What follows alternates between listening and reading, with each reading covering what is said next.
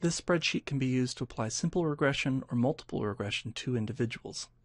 In the example, we wanted to know how unusual is it for someone with a vocabulary score of 120 to score 90 or less on reading comprehension.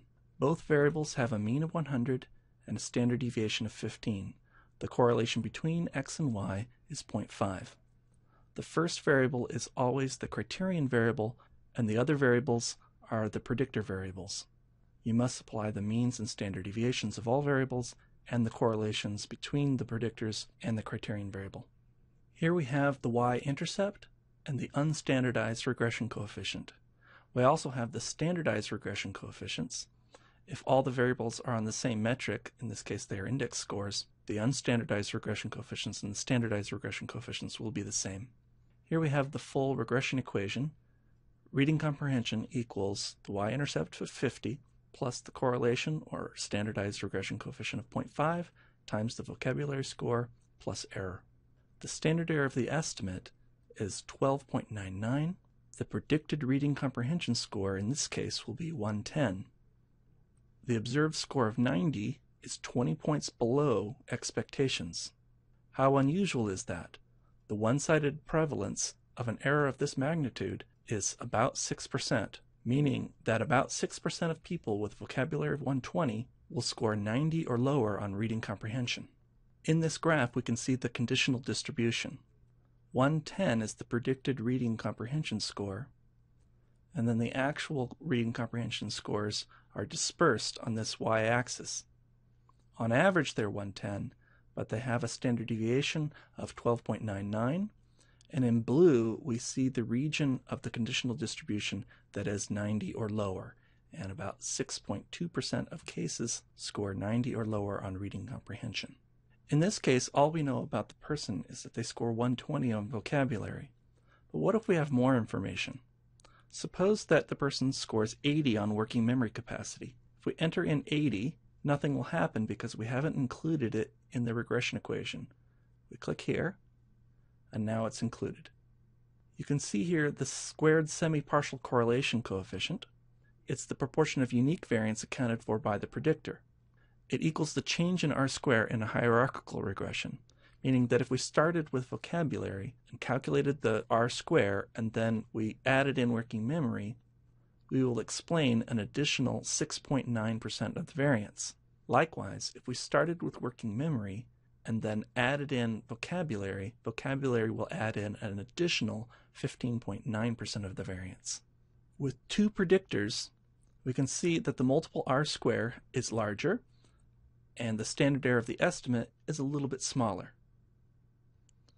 The predicted reading comprehension score is no longer 110, but 102.9. 90 is 12.9 points below that. For a person with this profile of predictors, 120 on vocabulary and 80 on working memory, almost 15% of people score 90 or below.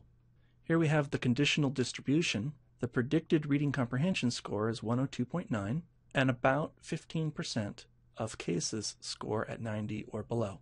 Now, what if we want to contrast this profile, 120 and 80, with another profile? So if person scored 100 on working memory, no weakness at all, how do predictions change? So with the weak score in working memory, the predicted score is 102.9.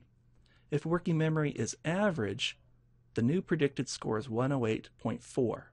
In profile 1 with the weakness, this is 12.9 points below expectations. Without a weakness, it's 18.4 points below expectations. With the weakness, the prevalence is not very high, it's almost 15%. Without the weakness, it's at almost 7%.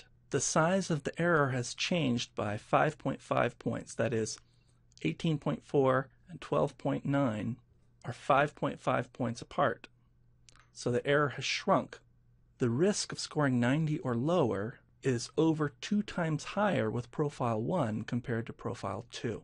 That is, even though people with neither profile are likely to score 90 or lower on reading comprehension, it is more than twice as likely for people with profile 1 with the working memory weakness than for people with profile 2 without the working memory weakness. We can see this with the graph. With Profile 1, about 15% of cases score 90 or lower. With Profile 2, about 7 or 6.9% of cases score 90 or lower. So not very common with Profile 1, but much less common with Profile 2. What if we don't talk about a score of 90, but some other threshold, some other low score for reading comprehension?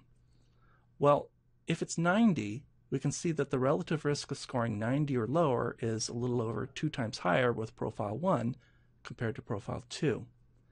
If we want to know how much more likely is it for someone to score 80 or lower on reading comprehension with Profile 1 compared to Profile 2, we can see in the curve that it's almost three times higher.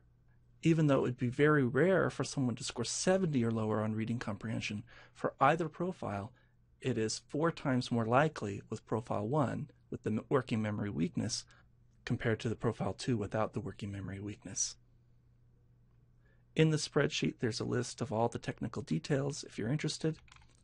In addition, if you want a standalone program rather than a spreadsheet, I recommend highly John Crawford's excellent program, RegBuildMR, and there's a link to it in the spreadsheet.